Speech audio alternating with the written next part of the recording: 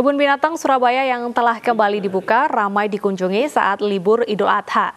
Meski kembali beroperasi, ibu hamil, lansia, dan balita berusia di bawah 6 tahun tidak diperbolehkan masuk untuk mencegah penularan COVID-19.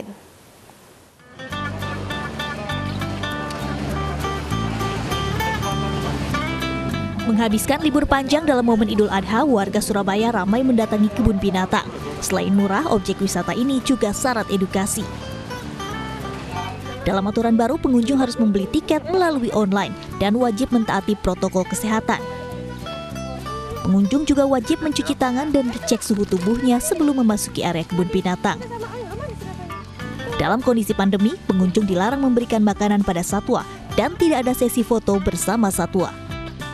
Uh, menurut saya sih bagus ya, udah mulai dibuka jadi anak-anak nggak bosen di rumah terus juga uh, pelayanannya juga protokol kesehatannya juga udah oke okay banget. Ketika Anda nanti mengklik gitu kan, itu akan ada ketentuan-ketentuan yang tidak diperbolehkan. Jadi sekali lagi mohon diperhatikan untuk anak balita kemudian ibu hamil dan juga lansia usia 60 tahun ke atas, kami mohon maaf tidak memperbolehkan masuk dulu ke KBS.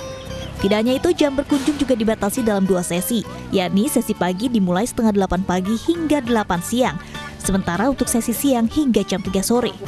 Jumlah pengunjung juga dibatasi hanya 1.500 orang per hari.